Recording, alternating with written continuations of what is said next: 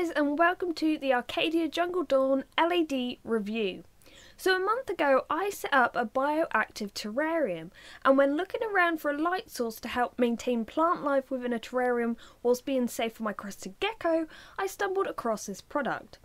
I had been suggested a number of other cheaper alternatives, however, after doing further research, I found that products such as spiral or cord daylight bulbs have a pretty bad reputation for causing photokeratoconjunctivitis, also known as PKC, which is a very nasty eye condition caused by excessive exposure to UV radiation. On top of that, those bulbs tend to produce a lot more heat than the Jungle Dawn, and when using a light for a crested gecko, you don't really want to raise the temperature too much since the geckos prefer to be in temperatures between 65 and 75 degrees Fahrenheit. The Jungle Dawn has this vent at the end of the light which allows the LEDs to keep cool because if they overheat they will die. So not only does the system help the lights last longer, but it also allows my crested gecko to keep cool. This is an E27 screw fit bulb, meaning it can be fitted in a range of light canopies and many standard lamps like this one. However, I decided to use the Arcadia ceramic lamp holder bracket, which can be mounted in a range of positions, and I'll show you where I've put mine a little bit later on. As you can see, this is certainly a nice bright light. However, my first concern was, will this hurt my gecko's eyes and will it disturb her during the day? But I'm happy to say that she doesn't seem too bothered by it.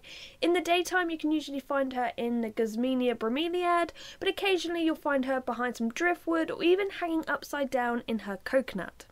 The good thing about the light output is it's not tinted, so it appears very white, which is visually very pleasing.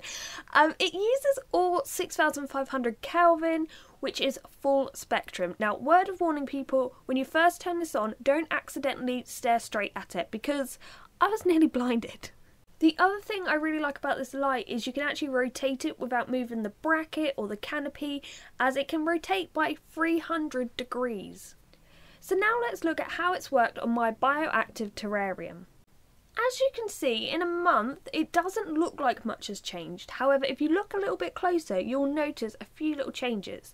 So, the Guzmania bromeliad was mature when I first put it in the terrarium, and now it is slowly dying off, but there is a good reason for that.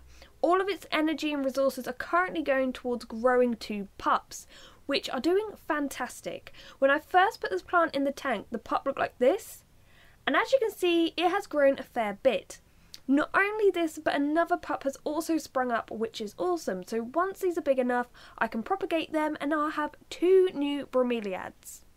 I planted a wandering dew plant a week into having the natural terrarium and it has done fantastic and seems to be growing towards the light. The air plants haven't grown too much, however, air plants are known to be slow growers, so we can't really blame the light for this one. The fern has probably grown the most, and even now we can see new growth occurring all over the plant. The Earth Star has yet to turn red, but I have noticed it has grown and raised up a bit compared to when I first planted it, so I'm sure it's only a matter of time before it starts to change colour. As you can see, if we look above the terrarium, this is how I've positioned my light. Overall, I am really happy with this light. It doesn't disturb my gecko, it doesn't raise the temperature, and my plants are thriving. I hope this video has helped and thank you very much for watching.